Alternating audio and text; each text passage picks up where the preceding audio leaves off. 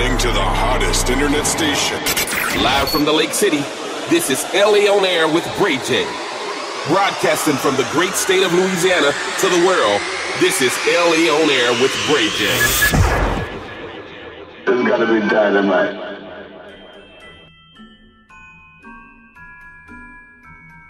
Good day, Louisiana.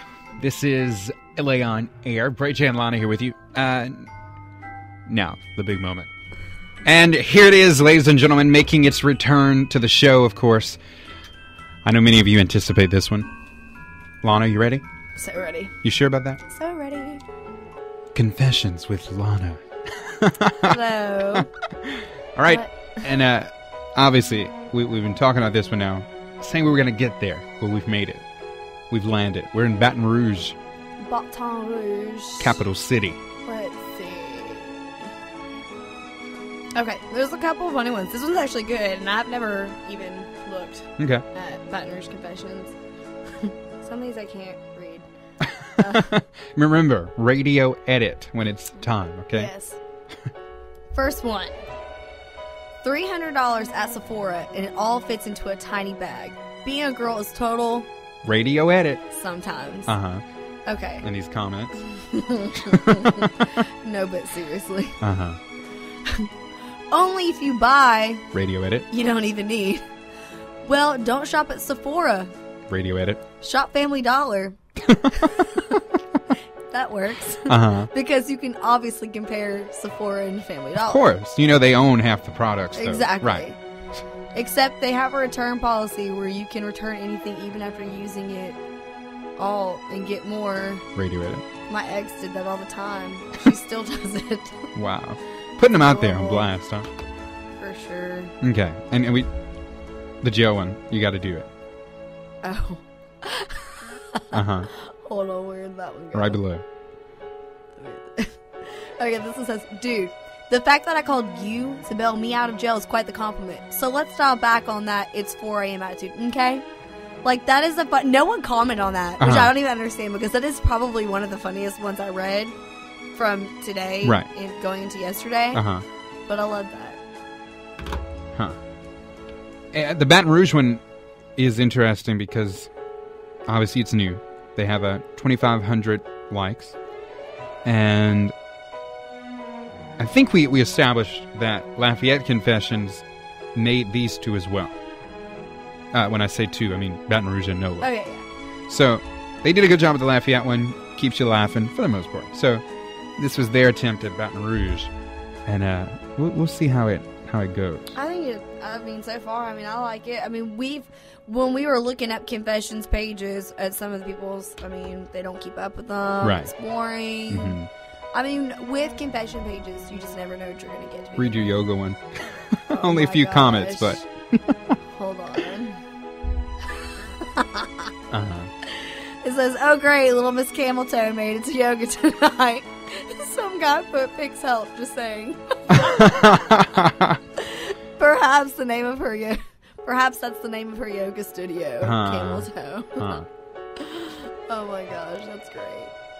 It's funny because you you know a lot of us think this stuff, obviously. Right? That's what I love about these confession Right. pages because If they do it the right way.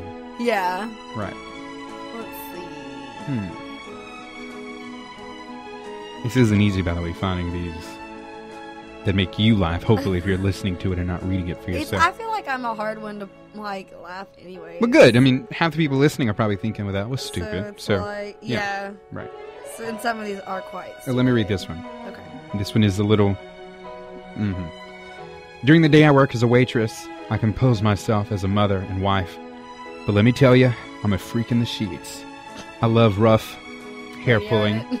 radio edit, slapping, and being choked. Any suggestion on how to get my husband to do this for me?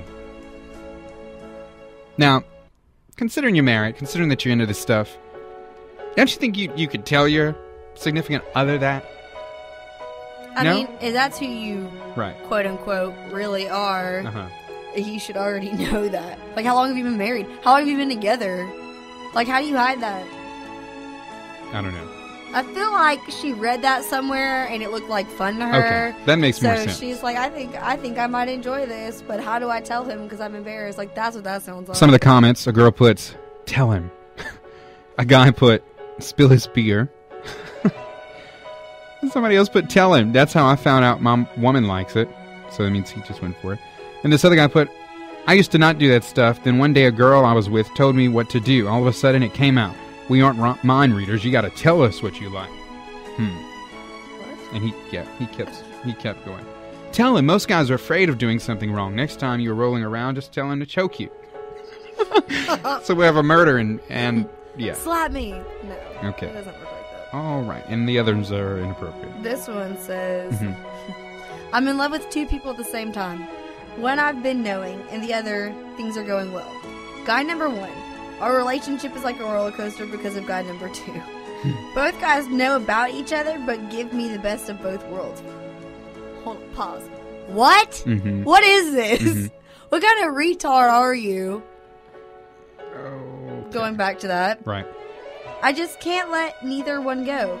I would also go back to guy number one at any moment, given the chance. I need some serious help. Yeah, it's called a psychiatrist, medication. like, what is wrong with you? Wow. If you love two people at once, choose the second because the never, because you never really loved the first. Have you ever heard that Mm-mm. stupid quote? It's so cheesy. No. Never leave the one you love for the one you like because the one you like will leave you for the one they love. Hmm. I mean, and while that's probably true, it's so cheesy. Can we keep the cheesy to a minimum? Sure. Any more you see that we should uh, cover today? I don't see any more on Batner's Confessions. Okay. Well, Baton Rouge, keep up the good work. Uh, get a little better for us so we can actually read it. Yeah. Give us substance. It wasn't terrible. No, it wasn't terrible, but it could have been a little better. Yeah. All right, there it is, ladies and gentlemen, for your beginning of your week, I should say. Confessions with Lana. You're so welcome. Here it is, back to the music for you. Representing New Orleans, here's Benham Foxes with Charade, right here on LA On Air.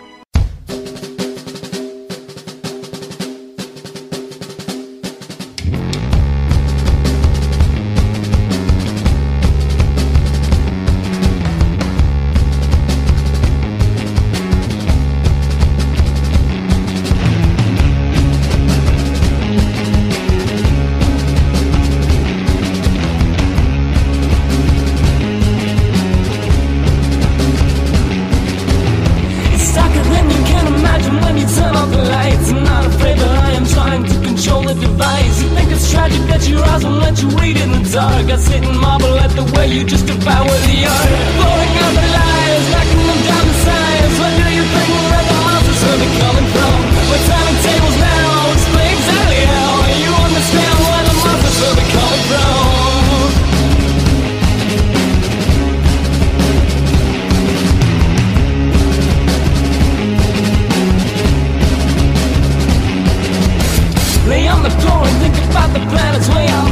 You're trying harder, but you cannot yet begin your escape. And lights are flashing, the brighter ones are starting to fade. You're out of bed and they're starting to believe your charades. Blowing out the lights, knocking them down the sides. Where do you think that the monsters will be coming from? We're turning tables now, explain exactly how. You understand where the monsters will be coming from. They're racing, replacing what's left of you.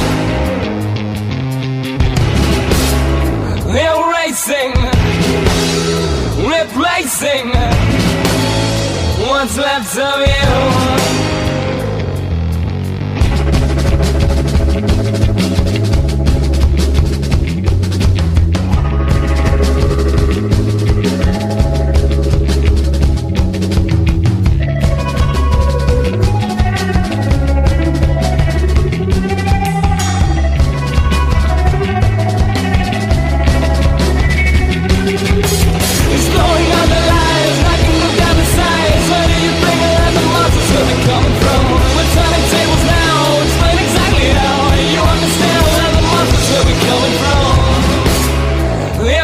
blazing. replacing. What's left of you? Erasing, replacing What's left of you? Hey!